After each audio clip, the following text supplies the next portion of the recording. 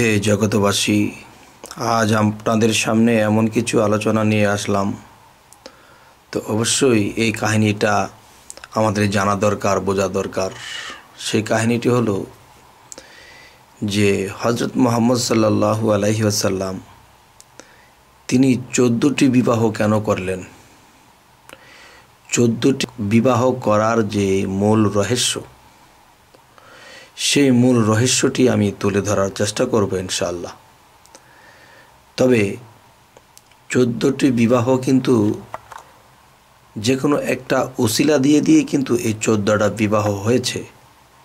কিন্তু দেখা যায় হজরত মোহাম্মদ সাল্লাহ সাল্লাম হয়তো দেখা গেছে এর চেয়ে অধিক বিবাহ করতে পারতেন কিংবা এর চেয়ে আরও কম করতে পারতেন। চোদ্দোটি বিবাহ কেন করলেন? এই চোদ্দ বিষয়টা কি? হে জগতবাসী এই ভিডিওটি স্কিপ করবেন না। যদি পুরোটা শোনেন, তাহলে ইনশাল্লাহ বুঝবেন।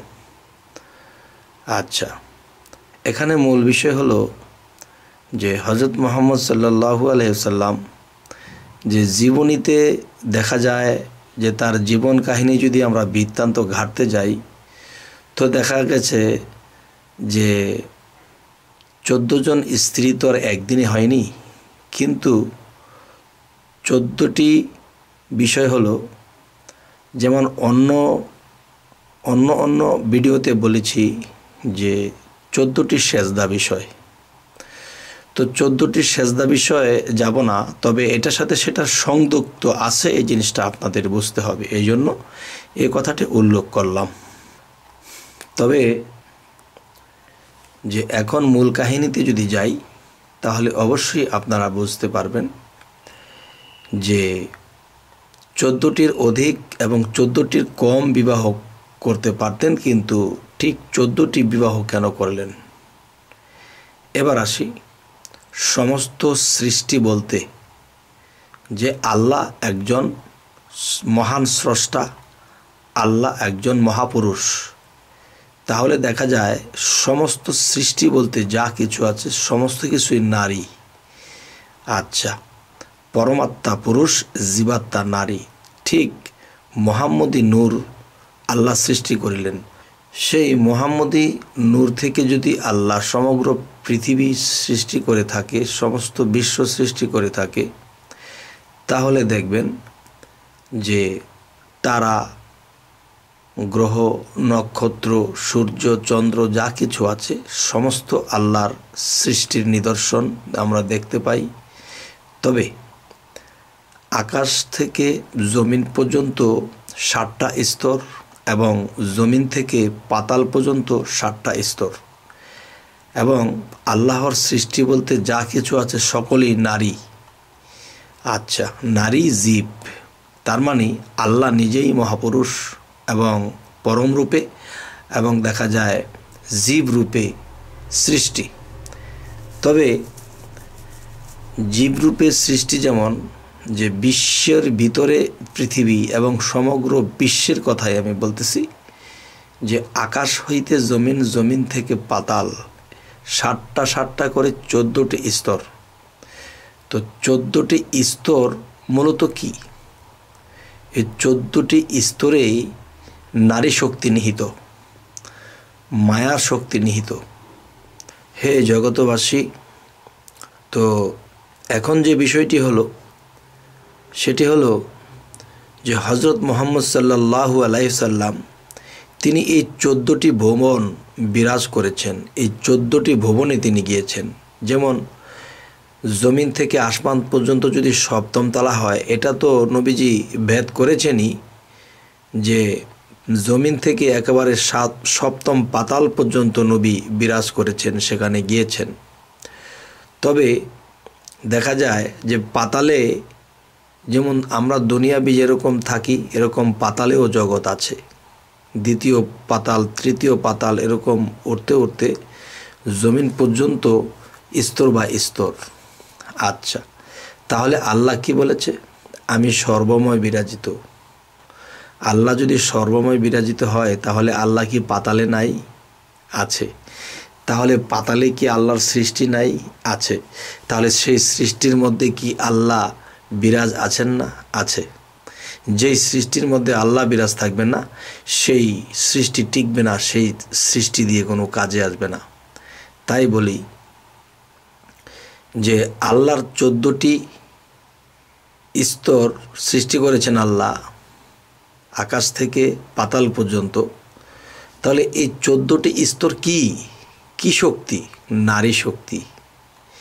এই নারী শক্তির দ্বারা এই পাতাল পর্যন্ত আল্লাহ আকাশ, আরশে আজিম পর্যন্ত সৃষ্টি করলেন। তাহলে সে পাতাল থেকে উঠে আসার সময় দেখা যায় যে তিনি চোদ্দোটি স্তরে একেবারে সপ্তম স্থান পর্যন্ত উঠতে যাইয়া চোদ্দোটি স্তরে চোদ্দোটি যেরকম সেজদা করেছিলেন, যে আমাদের ভাষায় একটা কথা বলে থাকে যে খেলা খেলাথুয়া নমস্কার। খেলা খেলাথুয়া নমস্কার কি? যে এই পৃথিবীর ভাণ্ডে জন্ম নিয়ে মোহাম্মদ সাল্লাহ সাল্লাম আর আসবে না। তিনি আত্মার মুক্তি ঘটিয়েছেন। আল্লাহর সাথে মিশে যাবেন।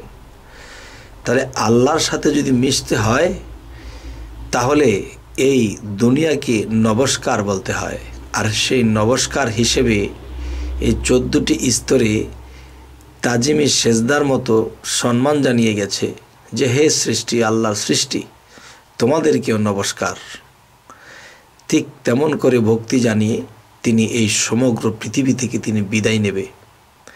এ হলো একটা বিষয়। তবে যে নারী জাতি, মায়ার জাতি আর আমরা যেই দেশে আছি, মায়ার ভবন। এখানে মায়ায় আমরা জর্জরিত হয়ে যাই। শেষে কি হয়? আল্লাহকেও ভুলে যাই। আর এটাকেই এই বলা হয়েছে যে খেলা থুয়া নমস্কার। আচ্ছা এখন যে চোদ্দোটি স্তরে চোদ্দোটি সৃষ্টি, আর সৃষ্টি বলতে নারী। আচ্ছা তাহলে দেখা গেছে, এটা হলো যে সৃষ্টির মধ্যে চোদ্দোটি স্তর আকাশ পাতাল মিলিয়ে। তো চোদ্দোটি স্তরে যদি চোদ্দোটি সৃষ্টি, চোদ্দোটি নারী শক্তি থেকে থাকে, তাহলে সেই চোদ্দোটি স্ত্রী দিয়ে তিনি এই জিনিসটি বুঝিয়ে গেলেন। আচ্ছা তাহলে চোদ্দোটি স্ত্রী দিয়ে কি বুঝালেন? দেখবেন এক একটা স্ত্রীর এক এক জ্ঞান, এক এক চরিত্র, এক এক বিষয়। তেমনি করে পাতাল থেকে আসমান পর্যন্ত চোদ্দোটি স্তরেই আল্লাহর সৃষ্টি আর সৃষ্টি বলতে নারী শক্তি। আর সেই নারী শক্তিটা বাহিরে প্রকাশ দেখাই গেলেন হজরত মোহাম্মদ সাল্লাহ আলাইসাল্লাম আচ্ছা তাহলে যে এই চোদ্দোটি স্তরে আল্লাহ বিরাজমান, তাহলে আল্লাহর সাথে কে? মোহাম্মদ বিরাজমান। তাহলে মোহাম্মদও কিন্তু এই সমস্ত সৃষ্টিতে বিরাজমান আছে। তেমনি চোদ্দ জন স্ত্রীর মধ্যেও তিনি বিরাজমান ছিলেন। তো চোদ্দোটি স্ত্রীর মধ্যে যখন তিনি বিরাজমান ছিলেন, শেষে কিন্তু তিনি যে দুনিয়ার লোভ, লালসা, কাম, বাসনা, এগুলো কিন্তু তিনি হীরা পর্বতের গুহা, এই জিনিসগুলো ত্যাগ করে দেওয়া হয়েছে। হীরা পর্বতের গুহার মধ্যে সাধনা করেছেন তিনি। আল্লাহ যখন দাওয়াত করল বাউন্ন বছরে আল্লাহর সাথে সাক্ষাৎ করে সে রাসুল টাইটেল পাইলেন। এরপর থেকে তিনি যে দুনিয়ার আমিত্ব যে জিনিস তার মধ্যে আর কাজ করেনি। তখন কি হয়েছে? যে এই চোদ্দোটি এই সৃষ্টিতে চোদ্দোটি নারী আর সেই চোদ্দোটি স্তরে তিনি বিরাজ করেছে। ঠিক তেমনি নিজের স্ত্রী দিয়ে এই জিনিসটি বোঝানো হয়েছে যে সেখানে চোদ্দোটি স্তর আর এখানে বার্জিকেও তিনি চোদ্দ স্ত্রীর মধ্যে তিনি বিরাজমান ছিলেন। তবে হে জগতবাসী আমার এই কথাগুলো একেবারে ভেঙে বলাটা যায় না। তবু যে এইভাবে বলার চেষ্টা করলাম জ্ঞানীগুণীরা বুঝে নিতে হবে। এর চেয়ে আরও কিছু গভীর আছে, কিন্তু এই গভীরটা আমি বলতে পারছি না। আমি মুখে ব্ল্যাক টিপ এসে যায় যে কিছু কিছু বিষয় জ্ঞানীগুণীরা বুঝে নিতে হবে, আমি শুধু ইঙ্গিত করে গেলাম। তো কেউ যদি না বোঝেন, হয়তো একটা খারাপ কমেন্ট করতে পারেন, কিন্তু না বাবা। অমনটা করবেন না যে এখানে আরও কিছু গভীরত্ব লুকানো আছে যা আমি এখানে প্রকাশ করতে পারছি না। এটা জ্ঞানীগুণেরা তো বুঝবেই এবং যার যার গুরু মুর্শিদ আছে, তাদের গুরু মুর্শিদের কাছে গিয়ে বাদ বাকিটা জেনে নিতে হবে। তবে আজ জানি না আলোচনা কেমন লাগল আপনাদের, তবে আমাদের সামনে আরও আলোচনা পেতে অবশ্যই সাবস্ক্রাইব করুন। তবে দেখা যায় আমাদের সামনে যে আরও কিছু ভিডিও উপহার দিতে পারি আপনাদের আপনাদের কাছে উপস্থিত হবে। তো এই বলে আজকে রাখব। সকলেই ভালো থাকবেন। আল্লাহ হাফিজ।